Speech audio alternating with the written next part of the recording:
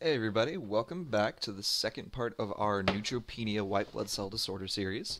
So in this video, we're going to be function focusing, sorry, on the major functional uh, neutrophil disorders, the major neutrophil functional disorders. So these disorders um, are focusing more on problems and mutations of neutrophils that directly inhibit their ability to either um, perform their function as granulocytes in being bactericidal and killing things, or in reaching the target tissues. And we have three diseases that are gonna that are gonna fall into that category. We've got um, Chediak-Higashi syndrome, chronic granulomatous disease, and leukocyte adhesion deficiency. So let's go over to the video and we'll start going through them. So the scene here again is in Switzerland, and this time instead of up in the uh, ski slopes uh, having some fun, we're at the major border crossing for Switzerland right here. So we have our Switzerland symbol for neutrophils, for neutral neutrophils, and we have our major border crossing. Major because these are the major functional disorders. Now the first of these is going to be represented over here by all this mess. So this is going to count as our Chediak-Higashi syndrome. So Chediak-Higashi, because we have a cheetah and we have a yak right here. This is our uh, train track over here that's kind of going through the border. It's bringing a bunch of, you know, goods and apparently livestock that are from, you know, really exotic places of the world over to Switzerland. And we have a cheetah and we have a yak. And this is for cheetah, yak, Chediak, Higashi syndrome. Now over here we have uh, one of our neutrophil workers at the border crossing, and he's going over the manifesto right here of this of this train, and he's scratching his head because who in Switzerland needs a cheetah and yak, right? But uh, you can see here that he's looking at this list of the things that were brought in. Now, the reason he's looking at this list is because Chediak-Higashi syndrome is an autosomal recessive mutation in the CHS gene. Uh, surprise, Chediak-Higashi syndrome, CHS gene. And that's this gene is responsible for encoding the lysosomal trafficking regulator, or LYST, LIST, lysosomal trafficking regulator. And that's kind of what he's doing too, right? That's his job. He kind of regulates the traffic going into Switzerland. And he's doing it by looking at this list. Now, over here with number four, we can see that if with this mutation, since our list is broken, um, what happens is that we can't have fusion of lysosomes and vesicles. So we have the we have the lysosomes that have all these degrading enzymes for that neutrophils use to kill things, and we have the vesicles that have you know taken up bacteria or other pathogens, and they're supposed to fuse so that we can kill these these these pathogens. But since our list is broken, we can't do that, and that's seen here by this train track, this train that's lost its connection, it's snapped off, and it's going off on its own instead of staying fused with the rest of itself. So defect in list, no fusion of lysosomes and vesicles. Now, the uh, the way that this presents in in the Chediak-Higashi syndrome is in several different ways. We have lots of different symptoms going on. So first of all, we have um, uh, platelet dysfunction. So this this doesn't just affect neutrophils. We also have some dysfunction going on in platelets, and this is shown here by the recurring sketchy symbol of platelet platelets platelet plates falling over and smashing on the ground, and now because they're now they're dysfunctional, they can't do their job. Um, we also got some uh, some uh, boxes over here that have fallen over and spilled their goods. This is to show us some of the other things, uh, some symbols for the other symptoms that are going on. One of which are these giant pink spectacles, you know, glasses, and that's because on uh, peripheral smear on the, in these neutrophils, you're often able to see giant vesicles, so spectacle vesicles. And again, this is kind of what they'll look like too, these really big pink vesicles for our spectacles. These patients also classically present with uh, photophobia. So we've got some barrels of SPF Infinity sunscreen. That's pretty strong stuff. I'd recommend it. It's highly effective. And uh, for photophobia, they're afraid of the light. And then we also typically have albinism. They'll have patchy albinism going uh, throughout their skin, and that's uh, that's evidenced by these cans of white paint. So albinism for white paint. If we go back over here to our yak, we'll also notice that he's got some symbols on him, right? He's got uh, spleen and liver patches on his coat, which uh, normally Sketchy likes to put on cows, but you know, we don't have a cow here. Swiss only like their yaks, so we've got a yak and we've got hepatosplenomegaly. And he's also got some uh, little bumps around his neck, and that's for lymphadenopathy. So we've got lymphadenopathy and hepatosplenomegaly. Now, no, just because it's on his neck doesn't mean that this lymphadenopathy is uh, strictly just in his cerv- the cervical lymph nodes, but um, you know it looks like it's kind of an easy way to demonstrate it. So just keep that in mind. And that's about it for our uh, our uh, syndrome. It's all the big symptoms that we have to worry about. Just remember that it's in the it's uh, cheetah and yak Chediak-Higashi. When presents, it's caused by um, a defect in the CHS gene that uh, encodes for list, and it leads to inability to fuse lysosomes and vesicles. Next, we've got the middle of this picture right here. And this is going to be for our chronic granulomatous disease. And we've got that represented by a sign here for this crossing center called the Crossing Guard Depot, CGD. CGD, chronic granulomatous disease. Now, chronic granulomatous disease uh, occurs due to mutations in NADPH oxidase, and that's what we're representing here with these big oxide tanks. Now, NADPH oxidase is important for producing the respiratory burst. This is kind of like uh, uh, just like there's enzymes in, in these lysosomes that degrade bacteria, we've also got this whole complex of enzymes that's job is solely to produce these oxide uh, chemicals and components to further, you know, activate these enzymes and directly uh, uh destroy or damage pathogens. As you can imagine, we have a similar situation where if we don't have functional NADPH oxidase, then our neutrophils can't function in being bactericidal.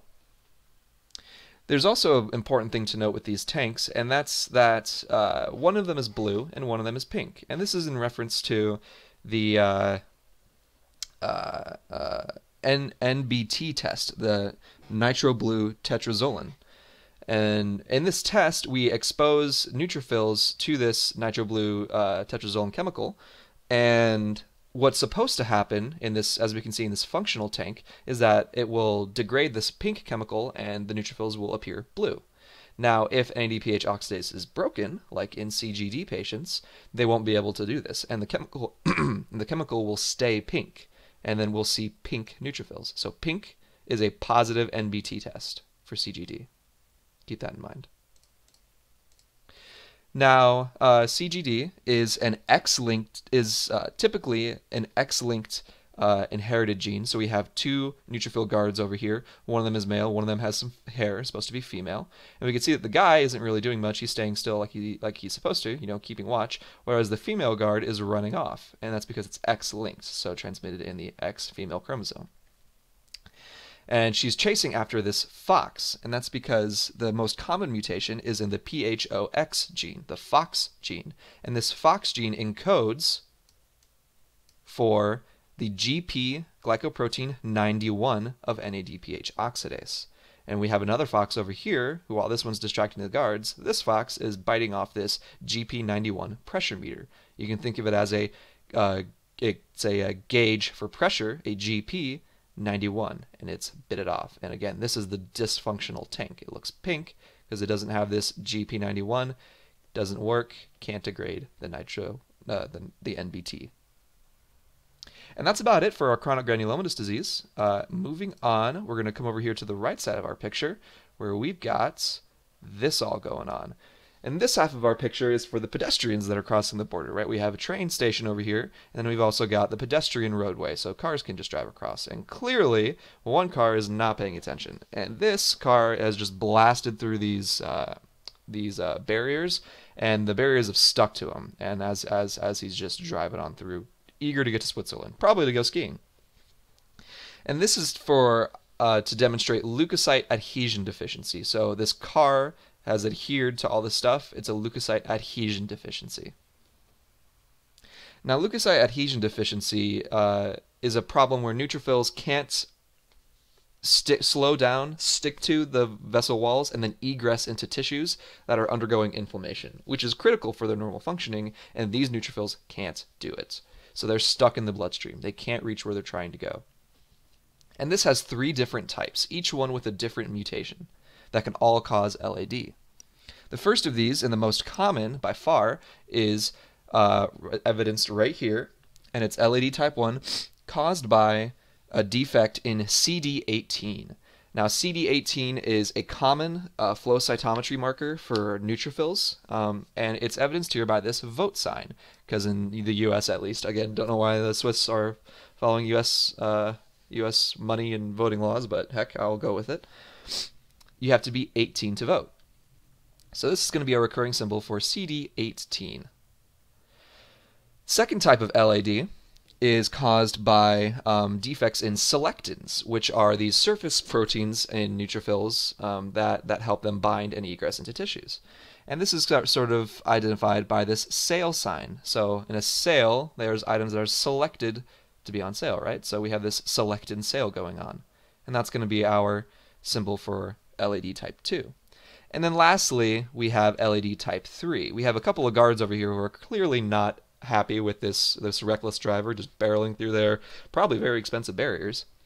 And one of them, this guy right here in particular, is being very stern and uh, uh, uh, firm and being ye- yelling at this this driver as he just drives by recklessly. And this is to evidence firm T3, which is an integrin activator. It actually activates integrins, which, like selectins, are important for getting neutrophils adhered to the endothelium. And he's being firm with this driver for firm T3. T3 also because there are one, two, three guards here that are all reacting to this this this this distraction. So we have firm T3, firm T3. So those are three types of LAD, each of them with their own unique mutations, the most common of which again is type 1 with CD18. And it presents this LAD, they all present roughly with about the same symptoms. The most common and classical one that uh, case presentation will often give you is this stump. And this is because babies um, will often present right away in infancy with this, with a delayed cord stump separation. Their stump, their umbilical stumps will get, you know, um, swollen, blue, kind of necrotic looking, um, because without these neutrophils, the the separation of the stump is delayed. So we have a stump here to represent that. Another common disease, or common presentation, is uh, recurrent infections. Of course, if we can't have neutrophils, we can't have them destroying these infections, so they'll keep occurring. And often these infections are cutaneous. So we have this gentleman over here with a bunch of skin infections going on for recurrent skin infections. Now, in lab findings, this is very unique because unlike the other ones that are often neutropenic, they have low neutrophil counts, here, we're going to have high neutrophil counts, elevated neutrophils. And that's again because since these neutrophils can't get to tissues, the body freaks out and says, hey, why aren't there any neutrophils coming? Make more of them. And the body goes, fine, chill out, dude, and makes more neutrophils. But they still can't get to tissues. They're just stuck in the blood. So we have high levels of neutrophils, again, for leukocyte adhesion deficiency. And lastly, there's not a specific symbol for it, but like I said earlier, CD18 is a very common neutrophil marker and a great way to diagnose this uh, test, especially since CD18 deficiency is the most common form of this disease, is with flow cytometry for CD18. If we find neutrophils that aren't testing positive for functional CD18, we know we have type 1 leukocyte adhesion deficiency. Lastly, we can look at the depot for this border crossing area, and this is going to tell us a little bit about the treatment for these different functional disorders. Number one uh, treatment is usually uh, with uh, prophylactic antibiotics. Since we know these patients can't defend themselves and properly uh, fend off uh, specifically bacterial pathogens, they can't degrade them, we can treat them prophylactically with antibiotics. The two main ones being uh, sulfonamides, which are represented by these eggs right here, and conazoles for fungi, which is represented by this big cone. And they're here on this building because these are things that are not allowed into Switzerland. Eggs, because everyone knows the Swiss hate eggs, right? That's that's just common sense. And then also because of cones. They've already got pine cone trees. They don't need more. So no eggs and cones are allowed in Switzerland. We treat patients prophylactically with sulfonamides and conazoles. Now, if necessary, uh, we can also treat these patients with transfusions, again, just like the congenital neutropenia disorders. Um, this is for acute or life threatening or refractory situations that don't otherwise respond to treatment. And lastly, the only curative way to fix these patients is to get them stem cells that don't have these mutations that can then produce functional neutrophils. And that is with a bone marrow transplant. Now the way that I'm going to represent bone marrow transplants in all these videos is with this bag of seeds. And that's because we're kind of, that's basically what we're doing, is we're taking good seeds from someone else who doesn't have, you know, mutations, and we're seeding their bone marrow with new life and giving them new cells to make functional neutrophils. So if we ever see a bag of seeds, that's going to be for our bone marrow transplant. And that about wraps it up for all of our major functional neutrophil disorders. Next up, we're going to talk about the mild neutrophil functional disorders at the Mile High Swiss Mall.